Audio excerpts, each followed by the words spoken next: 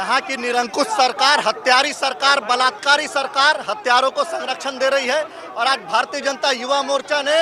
इसी आह्वान पे इस प्रदेश में महिलाओं का कैसे सम्मान हो, इसके लिए भारतीय जनता युवा मोर्चा आज सड़क पर उतरी है और ममिता को न्याय दिलाने के